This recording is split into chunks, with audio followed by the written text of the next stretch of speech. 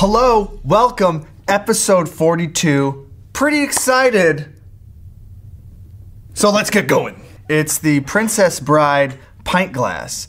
If you don't know the movie The Princess Bride, this isn't the cup for you. But for those of you who do know the classic comedy and how funny it is, you'll love the glass. It says contents may contain iocane powder on the back with a Westley mask, Princess Bride, title, officially licensed. You could drink water out of it, beer, ketchup. I'm gonna have some soda out of it. I don't think it's a twist off. All right. it was a twist off? This is actually pumpkin soda. Also available at 19.com. It's like Thanksgiving in a bottle. It's really good. What do we got next? These are called Tiny-Saurs. That is a Stegosaurus model that you build yourself. This is the packaging. So this and these entire models fit inside of this matchbook. These little guys are so small that you can fit them on the head of a quarter. This is a woolly mammoth. Got a little T-Rex here, little Stegosaurus. Got four different styles to choose from. Check them out. They're fun. Don't put me into the lava. Moving on. Excited about this. Laser Maze is a single person game. You have these challenge cards.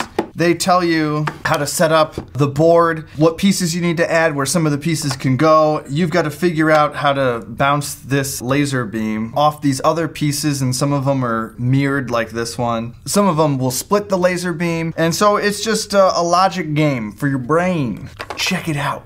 It's a lot of fun. You know who also likes lasers? Hans Gretel. I don't know why I'm mentioning that, or November 15th. With the hand pen holder, you can really get a handle on organizing your desk. This thing doubles as a paperweight because it weighs two and a half pounds. It's got a magnetic back here on the wrist to hold thumbtacks. You can also play rock, paper, scissors with it, I suppose. Oh! Okay, try again. Give me a pound, dog. Give me a pound. All right, there we go. That'll come in handy. All right, fan art. That's what I look like? Growth on my neck. That's what I call fan art. Some fan art from Singapore. Hey, VAT19, I love your products, and Jamie, I'm not saying I hate you, but you think you're funny, but you're not. I have a bigger crush on John and Joey than you. Guess we'll let John do the next newsletter. Much appreciated. Time to wrap this thing up. Uh, check out the videos. Thanks for watching. Thanks for subscribing. And we'll see you next time. VAT19.com